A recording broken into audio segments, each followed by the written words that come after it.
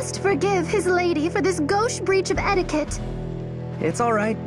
The peasant, whose name is Alm, will get over it. Oh, Alm, I can see you are truly kind. Might I ask you more about your village later? I'm ever so curious. Of course. Splendid! I've always wanted to know more about cows and pigs and such. Yes, they're. they're amazing creatures. It's amazing what the 3DS has done for the Fire Emblem series. What was once a niche strategy game has blossomed into one of Nintendo's premier franchises. Awakening really did save the series, and Fates, despite its mixed fan reception, continued that success. Now we have plenty of Fire Emblem titles to look forward to, but there's still one more game for the 3DS before the series moves to the Switch. Fire Emblem Echoes Shadows of Valentia, a remake of Fire Emblem Gaiden on the Famicom. And upon its reveal, I was incredibly excited for it. Half the series has never been released worldwide, so this was a chance to see what we had missed with some obvious updates to bring it in line with the modern idea of Fire Emblem. Despite that though, Shadows of Valentia might feel more unique now than even when it was first released. So many of the staples that we're familiar with are either gone or completely reworked, which brings into question whether new fans will even enjoy it. Shadows of Valentia's story features dual protagonists Alm and Celica, who became fast childhood friends until they were forced to be separated. Promising to one day reunite, the two grow up apart and shuttered away from the world at large. The land of Valentia is ruled over by two gods, Duma and Mila, who battled endlessly until a stalemate was reached and a tenuous peace accord was forged, represented by the respective nations of Rigel and Zofia. However, Rigel has broken that peace accord and invaded Zofia, causing Alm to leave his village in order to join the resistance forces, while Celica leaves at the same time to discover what has happened to Mila since Zofian land is beginning to rot. While there is a bit of a slow start, the story honestly kept me invested the entire time. It's a good setup and naturally allows you to experience both Alm and Celica's stories at the same time, which also serves to give it a unique feel. The plot itself and its twists and turns were pretty easy to see coming though. Nothing caught me off guard, but that really wasn't the focus in my opinion, especially since this is ostensibly an adaptation of an NES story. Instead, the true star here is the characters and their motivations. These are some of the strongest written characters in the series, with maybe the exception of Celica, who can come across a bit flat, if only because I've seen her personality so many times before. Alm gets close to that as well, but there's enough here to flesh him out that I stayed invested. It's the supporting cast that truly stands above, though. Because of the split nature of this story and how certain gameplay elements are handled, this might be the first time I truly felt like I got to know the cast of a Fire Emblem game. So many times in the past, a cool character would show up and then basically have nothing to do other than support conversations to try and flesh them out. While Shadows of Valentia still has that, the changes to the formula provides many more opportunities to talk to them and learn their stories, as they'll often appear to just talk about their background or just give their feelings about current events. Outside of a few characters here and there, I really feel like I got to know most of them. And like I said, it all ties into how Shadows of Valentia changes up the Fire Emblem formula. In the past, many of the games would have one major battle per chapter, with options to manage your army in between. Fire Emblem Echoes features no chapters and instead focuses on acts where lots of battles can take place. An act doesn't end until all the battles in a section of the map are completed and later acts allow you to freely choose between Alm and Celica's armies, going in whatever order you see fit, which does help the variety since you're often able to work with different units. It's a bit similar to other Fire Emblem games with a map, except there's much more to do beyond that. You could move on to the next battle and continue the story, but opening up more of the map also grants access to towns and dungeons. Each town naturally contains villagers that provide more information on what's going on, as well as the occasional quest. These usually come in the form of providing certain items or completing a set task in a dungeon and reward you with items for battle. These items can also be found around towns or any place with the explore option, allowing you to keep them for your provisions. There's no vulneraries or healing potions of any kind this time around. Instead, it takes the form of food. Food becomes important in the dungeons.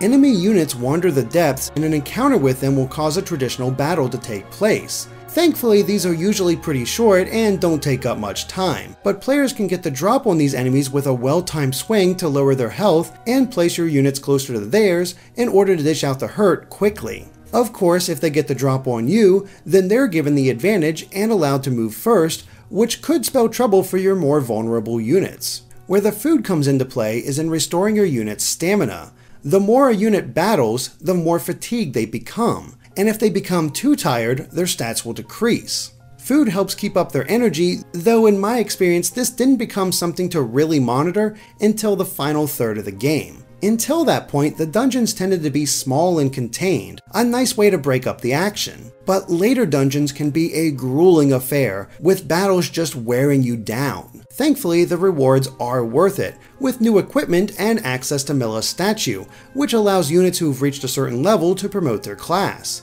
It's an easy system to understand, and the game always informed me when it was time to promote. All of this makes Shadows of Valentia feel closer to a traditional RPG, but it's still very much a strategy game even though there's been many changes made there as well. Right off the bat, the traditional weapon triangle is gone. Swords aren't more effective against axes or weaker to lances. In fact, there are no axe wielders that join your party in the entire game. I wasn't sure how I would react to this change, but it never decreased the amount of strategy necessary to win the day. The same could be said of weapon degradation. At no point can any of your weapons break, causing some significant changes to how things play out. Instead of each character having a large inventory, they can only carry one item at a time. This can either be food to heal or equipment that you find along the way, which takes the form of classic items like iron, steel, or silver weapons and shields. The stronger the equipment, the bigger the boost to your character's strength or defense at the cost of less speed. And this applies to all units since there's no weight stat, so it becomes a question of how much speed you're willing to sacrifice for the extra power. But as you use the equipment, you'll also learn special arts that sacrifice HP for a stronger attack that may boost your power, accuracy, or even avoidance. It leaves a lot of room for how each player wants to customize their army. Arts are similar to how magic works in the game as well. Since there are no tomes, magic is exchanged for health. The stronger the magic, the more health that's drained. Fortunately, there are ways to keep your mages in good health, including rings that restore a little HP at the start of each turn. It felt like a great way to balance the power, but also the vulnerability of magic units. The other big change is with the archers, who are now able to hit units next to them as well as those from much farther away. However, they don't automatically have the ability to do extra damage to flying units, which helps balance things out. In all, I like a lot of these changes because it made me think of how to handle each battle in a different way. Without the weapon triangle and these different ideas in play, other aspects of the gameplay have a lot more focus. Terrain bonuses became a bigger deal, but also character classes and their individual stats. The attack stat applies to both magic and physical moves, and the difference only matters in terms of defense. I had to keep in mind which units could handle each situation, especially since the game loves to match mages with archers, making them difficult to approach. As much as I enjoyed these differences, it's not always perfect. While I love that normal battles could often have every unit in each fight, something that's limited to 10 in dungeons, the variety never really changes. Almost every win condition is routing the enemy, and while the enemies themselves are often varied, it can get a little old. The dungeons attempt to break this up, but each encounter there still features the same kind of battle. And while the early game is pretty easy, there's a significant difficulty increase about halfway through Act 3. Thankfully, the game mitigates this difficulty spike through the use of Mila's turn wheel. At any time during your turn, it can be activated in order to rewind time and fix any of your mistakes. You can go one move previously, or even all the way back to the beginning of the battle. It was such a relief playing on classic mode and not having to worry about restarting every time I lost a unit. Instead, I could go back and try to fix the mistake even if this might take a few tries. And that's where it gets tricky since the turn wheel only has so many uses per battle in the overworld and the same amount of uses for an entire dungeon. It can be very easy to run low on uses with bad play. I find it to be an excellent compromise to those who don't want to use casual mode. And while the game does become harder, it's at its most annoying when there are Cantor enemies. Cantors can summon monsters to fight your party nearly infinitely. The act drains their health, but they always have a way to immediately restore it. And it can be nightmarish at times trying to fight through these hordes just to reach the Cantor, who is often pretty tough on his own. It became a matter of slowly moving forward, mowing down the mobs, until I could rush the Cantor, kill him, and dispel all the summoned creatures remaining. So many battles are extended way longer than they should be simply because of these enemy types, and they're often there to ensure a much harder battle. While they occasionally could be fun to fight, I eventually ended up groaning every time they appeared. Still, there's a lot to enjoy about Shadows of Valentia. For one, every single interaction is fully voiced with the small exception of some villagers. It adds so much more personality to the characters, and all of them are incredibly handled. Some stand out more than others, such as Gray, Mae, Delthea, and Berkut, but this may be some of the best voice acting I've ever encountered in a video game. It all comes across so naturally that it's easy to get sucked into the world, and the music is just as good. There are so many standout tracks here that really push the epic scale of the story and the events that occur. It is brilliantly handled. It doesn't hurt either that this is the best looking Fire Emblem game on the 3DS. I love the updated art style for the characters, and the battle sequences are gorgeous. Each encounter reflects what's going on in the map and has so many small touches like swords cutting through the nearby grass during swings. Beyond that, though, is the choreography of the battle animations. They often flow into each other so seamlessly that I was even entertained during missed attacks. It's not perfect though, as some of the camera angles can be wonky and the characters can sometimes just pop in. This never affected my enjoyment though because the animation was just so good. Fire Emblem Echoes Shadows of Valentia is a really good remake of Fire Emblem Gaiden. Many of the ideas here originated in that Famicom title.